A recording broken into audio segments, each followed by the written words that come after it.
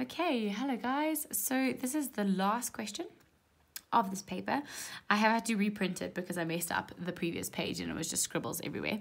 So let's see whether this time it finally works. Okay, so this question is about exchange rates. Um, it's about percentages and a lot of these sort of um, concepts are not too difficult necessarily. Like we understand them in principle, but sometimes we find it difficult to do the maths around them. Okay, but let's just go through it methodically and I'm sure we can do it.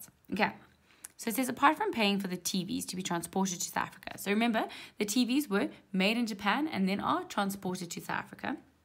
The supplier also has to pay import taxes as declared by SARS. Okay, SARS is the South African Revenue Service, right? They collect tax. This is calculated by determining 18.74% of the cost price, right? 576 TVs are shipped in one container. So one container um, holds that many TVs. We know that because um, we've already calculated that before, but now they've just reiterated that point. Okay, and each TV costs 28,930 yen. Okay, so we know that there's going to be a lot of moving pieces here, but let's just see what they ask us. Let's not panic. Let's just jump into the question and go about it methodically. So it says, calculate how much the import tax will be in South African Rand. So they've told us what currency they want the answer in for one container if the following is true. So now there's two ways we can go about this. We could say, okay, let's change the cost of the TV into rands and then calculate the tax. Or we can say, okay, let's just keep it in yen, right? Calculate the tax and then convert it to rand. So I'm going to do the latter one.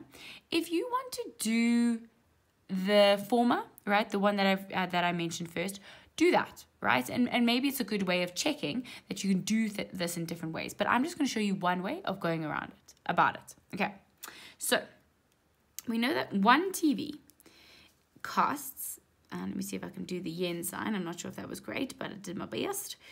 That's how much one TV costs. So, but now we have 576 TVs, right? Because we're doing it for a whole container right? We're not just doing it for one TV. It's important to read the question, right? Because some students would have forgotten that it wasn't just for one TV and then not necessarily done the question correctly.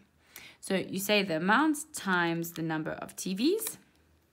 So this is how much we are looking at, okay, in yen for all those TVs, okay?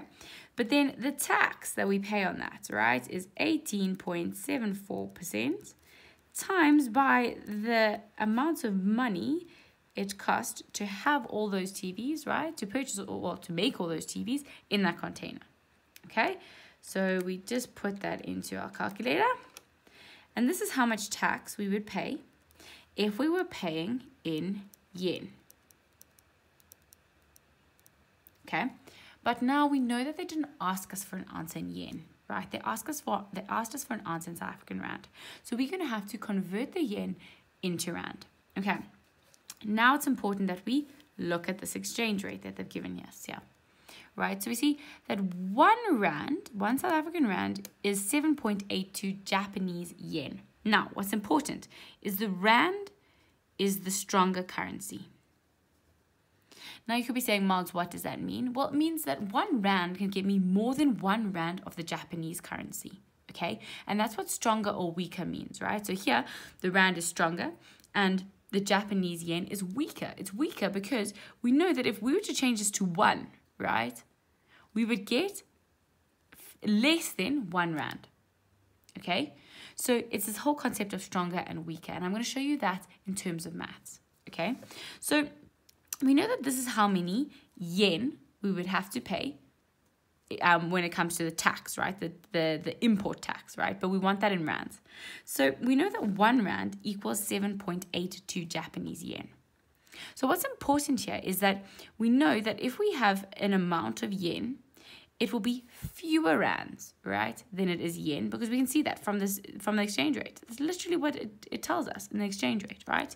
So we know, I'm going to put it here, that 7.82 Japanese, oh, I'm going to put the yen here, right, equals one rand. Oh, I don't know why I keep putting the currency uh, sign afterwards. Oh, it's because they do it up there. That's why. All right. But then what is 312277 0.632 going to equal, so that's in yen, right? Remember when you have yen, you should actually, when you have a currency, you should round it off, right? So you should probably take away that 2 and just make it 63. But remember, you're not supposed to round off your answers until the end, and that's why I've left it in. But when you put a currency sign in, you should only ever put two decimal places, okay? So don't, don't let me confuse you there. So we want to know how many rand that is, okay? So what we're going to do is we're going to say, well, if we say 3122773.632, and we divide that by 7.82, right? I'm dividing it by that. Now you could be saying, well, why? Why do you do that? That's that's always that's the thing I get wrong, Margie. Like I never understand what I must do, right? But what I'm effectively saying here, this this represents, I'm saying, what do I have to multiply 7.82 by to get to 3122773.632, right? That is what this effectively says. Let me just rewrite it in another way for you. I'm saying something, right? So I'm just saying a box times by 7.82 has to equal 3122773.632. And saying, well, if I want to get that box by itself, I have to say 3122773.632 divided by 7.82. And that's how I get, I'm just going to draw a box around that so you don't get confused. And that's how I get to that. Okay.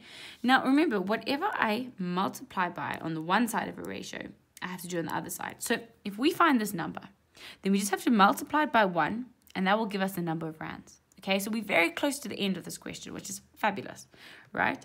So let's take that number that we have in our calculator, and let's divide it by 7.82.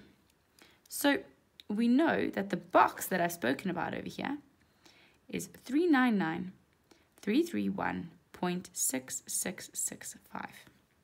But now all we need to say is we say 1 times the 399,331.6665 and that gives us the number of rands that this this amount of tax in yen is going to be okay because what I what I multiply on the one side which is this box I have to multiply by on the other side of the ratio. Okay? So we know that that's going to be 399,331.67 remember when we're giving a final answer and we're putting in a currency, we round off to two decimal places. Okay, so it's the whole concept here is that they're wanting you to understand, right, what a currency is and what it means. And that's why I keep saying one rand gives us more Japanese yen, right? It tells us that it's a stronger currency. Okay, I hope that was helpful. I know this can um, be confusing, but if if you're not getting this, go over this one more time. Look at what I'm doing. Look at my explanation here, and you should get there. Okay, let's now move on to the next question. So it says, calculate what each TV would cost in South African Rand if you had to include the import tax per TV. Now, remember we said we have the cost price, right, of the TV, and then we have this tax that we're going to put on top of the TV, and that's going to be the total price, right? So we know that it's going to be cost plus tax, okay? And now it's saying per TV. So we know the cost per TV is going to be 28930, right? We have that from over here, okay?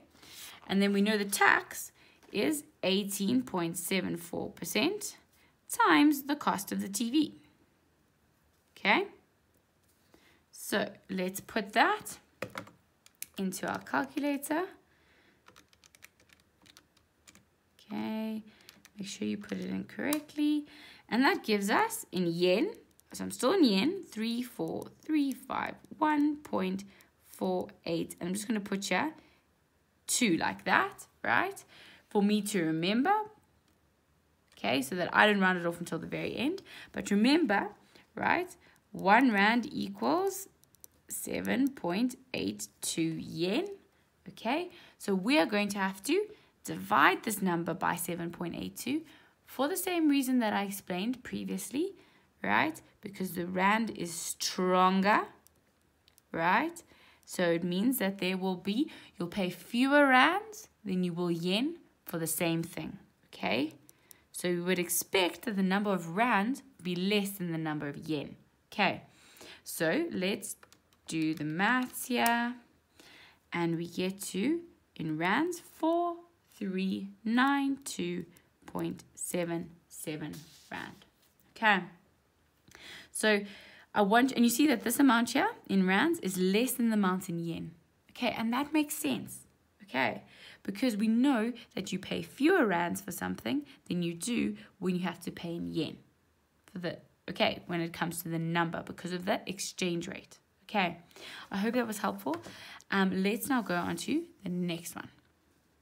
This is the last question of the entire paper. Okay, guys.